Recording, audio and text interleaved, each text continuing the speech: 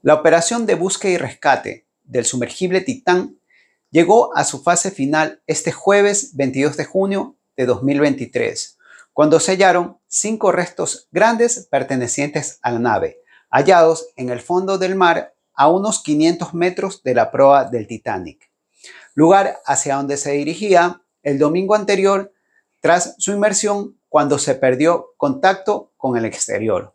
La versión oficial indica que el sumergible habría sufrido una implosión catastrófica tras una hora 45 minutos de su inmersión inicial a una profundidad aproximada de 3.000 metros. Se calcula que esta implosión transcurrió en una fracción de segundo.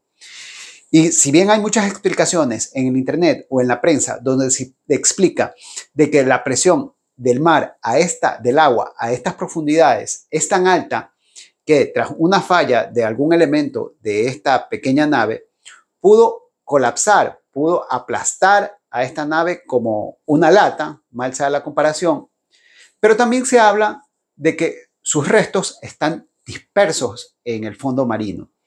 Entonces, ¿Por qué sus restos no están compactos, no están cerrados y se encuentran dispersos en el mar?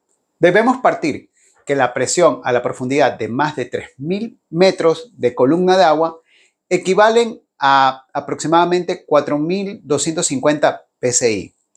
Y para imaginar la presión a esta profundidad, podemos deducir de que es una presión equivalente a 4.250 libras aplicadas sobre un área de una pulgada cuadrada. Es decir, por cada pulgada cuadrada que hay en toda el área de, este artefacto, se encontraban cuatro, más de 4.000 libras aplicándose a áreas similares a una moneda.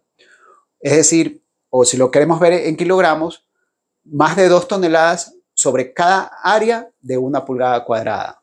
Es una presión excesivamente alta. Otra manera de visualizarlo es comparar estos cuatro, más de 4.000 PSI a la presión equivalente que se utiliza en los aceites hidráulicos dentro de los pistones. Imaginen de que este sumergible estaba soportando la presión similar a lo que existe dentro de los, de los pistones hidráulicos que se utilizan para hacer partes automotrices o para equipos de construcción. Ahora, tras la falla del casco o de algún elemento de unión, el agua que se encuentra a 300 veces la presión que está dentro de este sumergible experimental ingresa con gran violencia. Y aquí es donde les voy a compartir el video de una burbuja de cavitación producida dentro de una bomba centrífuga. Aquí podemos ver de que esta burbuja comienza a colapsar por la diferencia de presiones. Fuera de esta burbuja hay más de una atmósfera y dentro de ella hay menos una atmósfera. Esta diferencia de presiones hace de que esta burbuja empiece a colapsar, que empiece a implosionar. Ahora, llevando esta analogía al sumergible, tras la rotura parcial del casco, el agua ocupa violentamente todos los lugares y cierra el espacio anteriormente ocupado por el aire. La estructura y el aire en su interior se comprime al igual que la burbuja mostrada. De acuerdo a la ley de gases ideales de Boyle, el aire se comprimirá en la misma proporción que existe de la diferencia de presiones. Es decir, de los 15, aproximadamente los 15 metros cúbicos de aire que se encontraban dentro de este sumergible, se comprimieron 300 veces hasta llegar a 50 litros. ¿Cuántos aire es esto? Es el que entra aproximadamente en una pelota de playa. Hasta aquí tenemos al sumergible completamente colapsado y es aquí hasta donde hay la explicación.